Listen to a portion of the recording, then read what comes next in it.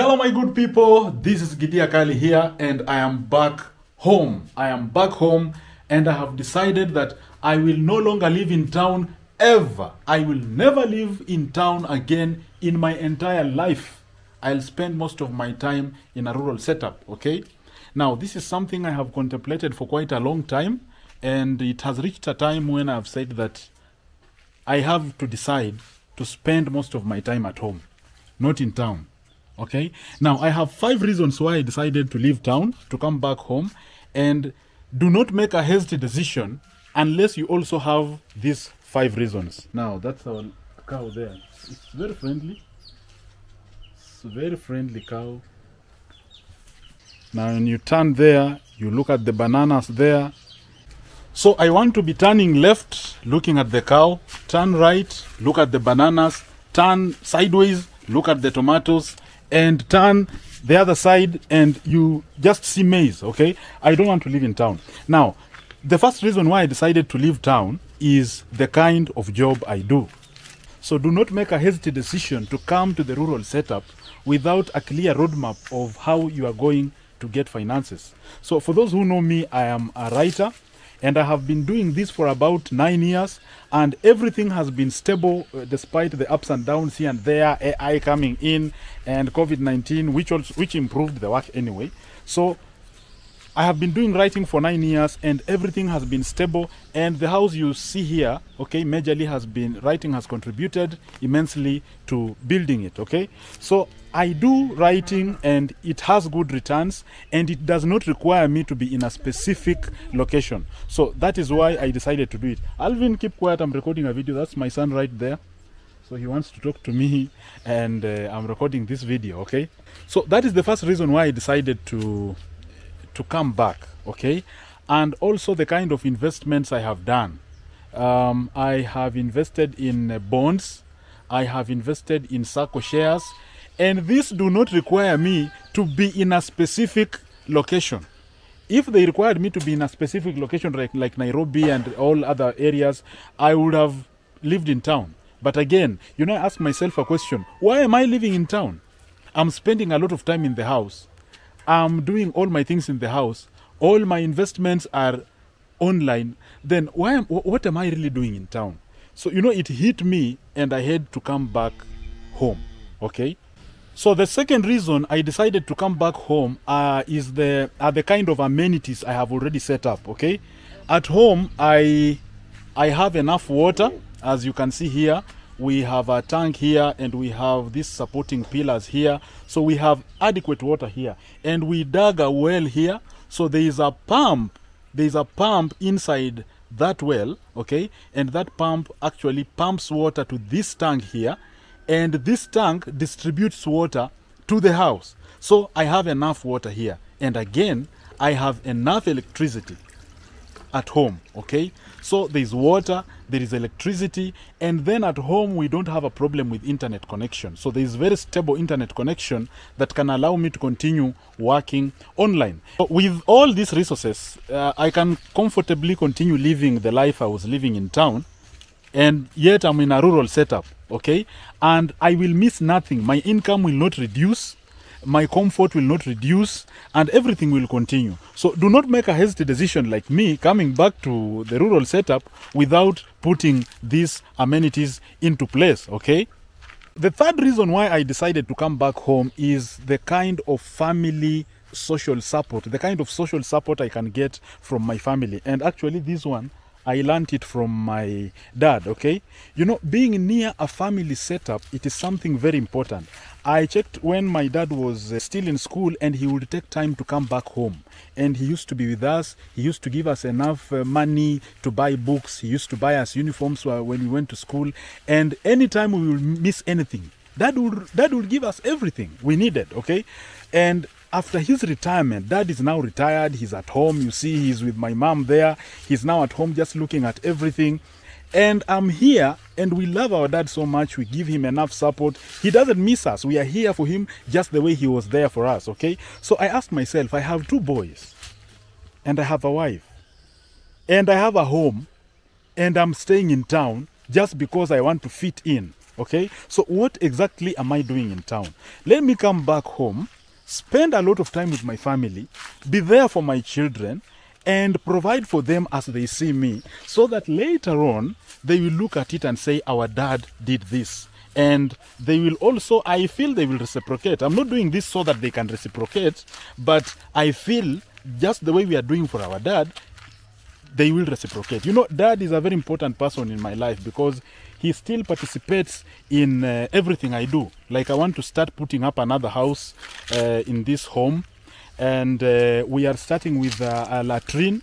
And dad is the one who has been directing the process of putting up a latrine. As you can see here, he's there uh, telling uh, these guys, the, telling them the feet and the dimensions of how to put up um, that latrine. So he still participates in the building of the home and he gives me enough advice on how to do a lot of things at home here. So that is the kind of life I want to give social support to my family so that later on, when I'm weak, I can no longer work the way I work online. When I only rely on the investments I've put up, my young children, who will now be energetic young adults, will be there for me just like we are there for our father. So that's another very important reason why I decided that I want to be near my family. Okay, now this is we are in our land.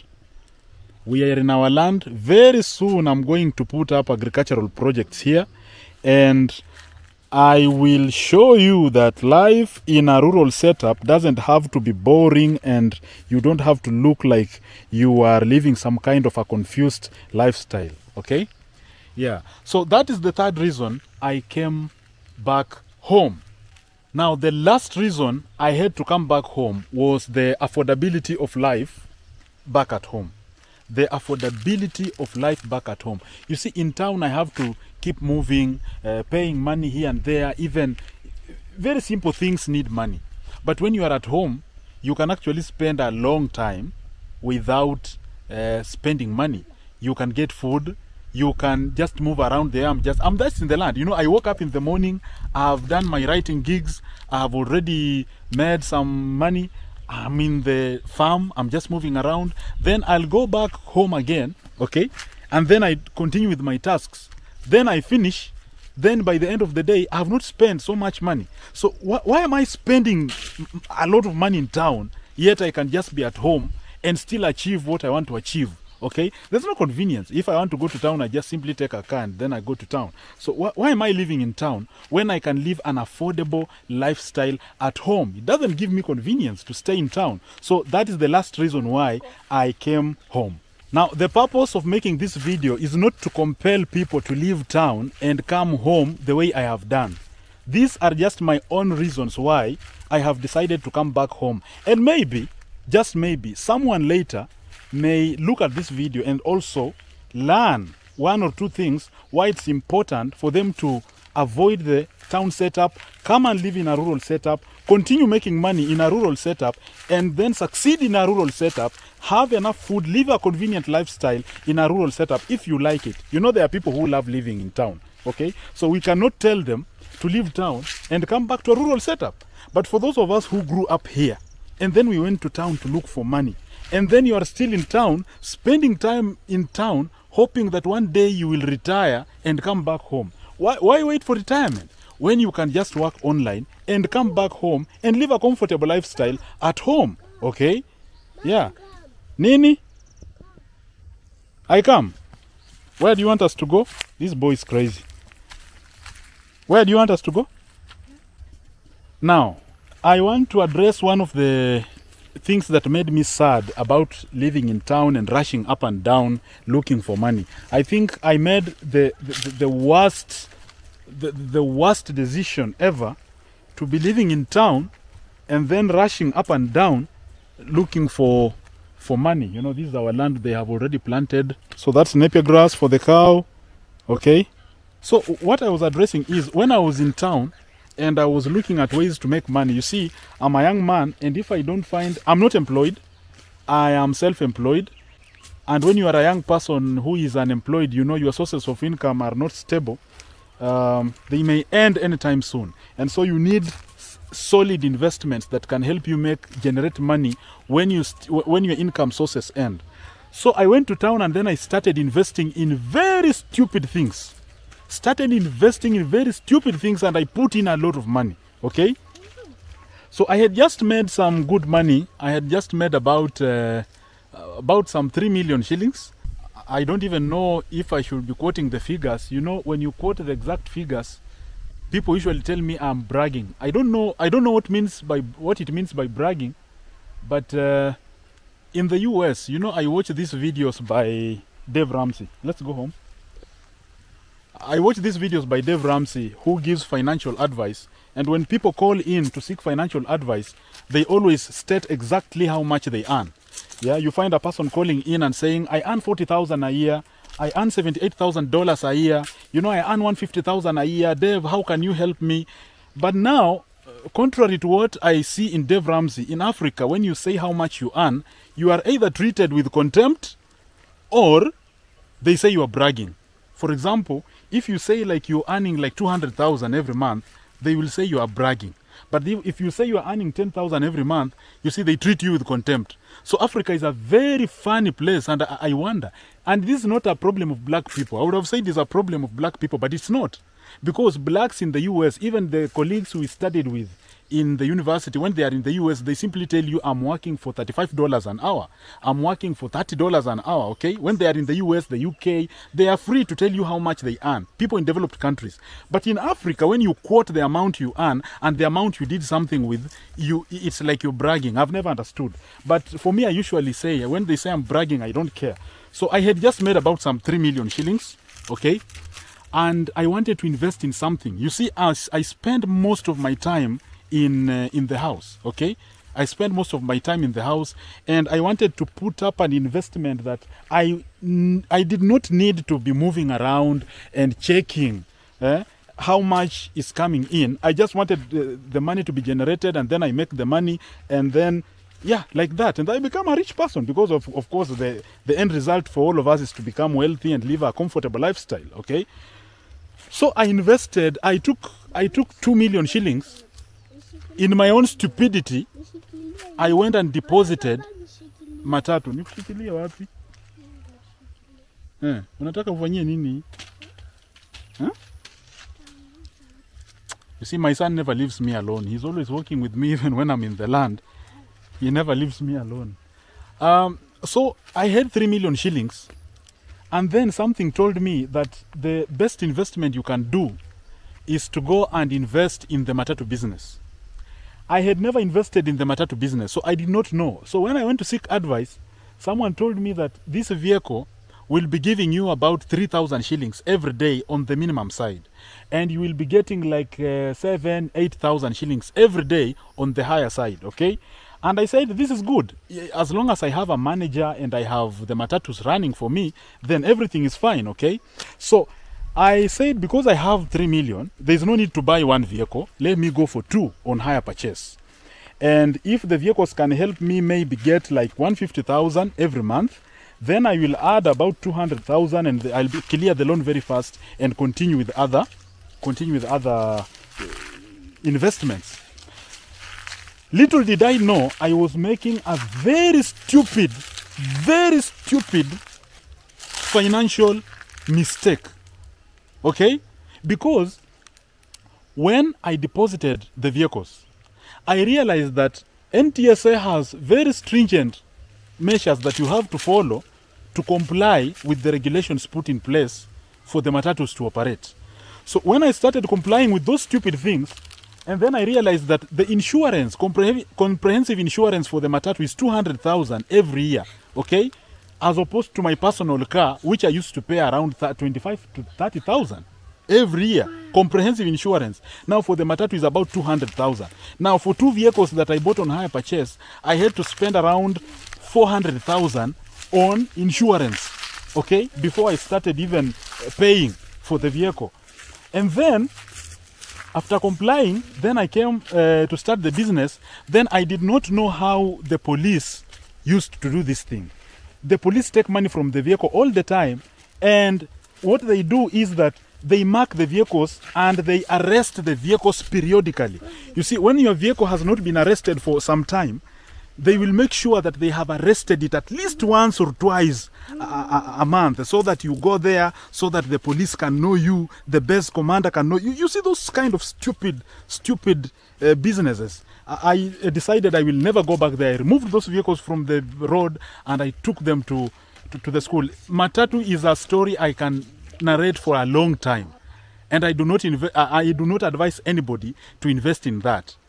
Uh, so the money I had invested, I had planned to invest in transport. I took most of the money to bonds. I took most of the money to SACCO shares, and some of the money I invested in other things like uh, I don't want to mention because those are things that people can target. You know, when I talk about online things, you cannot attack my online things, but you can attack my own offline things. So those ones, I'm not going to mention. Alvin, let's go back home. Let's go. Hmm? Let's go home. So you see. And then again, after Matatu, I made another hasty and stupid decision. You know what I did? I took I took around 500,000, okay? I took around 500,000 and I put up a nice boutique. Putting up a nice boutique after being advised by a friend building it, going for the stock, and then pumping in enough stock to make sure that the business is stable, and then paying rent for a long time, for about seven months, to just ensure that the business picks up well. After three months, guess what happened? Guys came and broke into my shop and made away with a stock worth about 700,000. And the business went down and I was left in a very stupid debt. Remember, in Matatu, I had to pay a debt of about 3 million shillings, and then I was in the boutique business, which I had invested to help me facilitate the payment of the Matatu loan, and the business has sunk. Okay, so the 3 million I had already offset about 1.2 million, so I was remaining with about uh, 1.8 million. So the business that has sunk has already returned me to a debt of about 3 million because on the 700,000 I had borrowed some money, I had to offset it. Now that is early 2022. Okay? Now I have to start settling this money in loans. That is ab- 3 million shillings. I'm 3 million shillings in loan because of stupid business decisions. And so I started paying this money. Started paying this money uh, every month.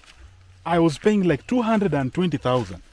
220,000. And you know I took the money? It's a story for another day. Just be on this channel and you will hear me narrate all those things and the kind of mistreatment I went through. I took that money from Platinum Credit after giving them my logbooks and then telling them that, uh, that that they can give me they can they can buy off one vehicle and then give me the money for another vehicle then I'll pay the other one okay so I have struggled to pay that money from 2022 2023 and then early 2024 because I had to restructure some of the loans because they were too heavy for me. I could not even manage to take good care of the family and it was just chaos. And you know, at the time I was paying those loans, I was also contributing immensely to building of this house, okay? This house that is now complete. So the house stalled. And then uh, you hear stories like you started building a house, you cannot finish. You know, people are people with their own stories. You started building a house, it is good to go slow on the things you do, you know. Very, very, very, very fun things. So I'm back home. So I have gone to town. I have walked in town. I have experienced a lot of problems in town. I have invested in things, I've lost money. Then throughout the process, I came finally I came to Rina. There's a lady called Rina on YouTube who was talking about uh, money market funds. And there's a, another guy called Okonji on Facebook who is always talking about how to invest, where to invest. So I started learning about money market funds. That is where I started learning about bonds, started learning about shares, started learning about the importance of frugality, started learning about the importance of uh, just enha- increasing your sources of income and making sure that you put money in the right places, you know. So these things I'm learning late, very late, when I'm already in debt. Okay? But now I have finished the debt and I'm just back home wondering, what did I go to do in town? I went to town put up physical investments, they lost. But when I was in a rural setup here, you know, I started writing here. Everything I put up was safe. And now the money I've put up in money market funds is safe. So why not just continue being at home here and then doing my thing? Okay? So right now, I'm just I just want to do everything here at home all the videos I'll make here. I'm not making the other traveling videos. I know people are waiting for me to talk about the the, the, the other videos. Uh, we shall talk about that later. Um, oh, my phone has fallen down. We shall talk about that later.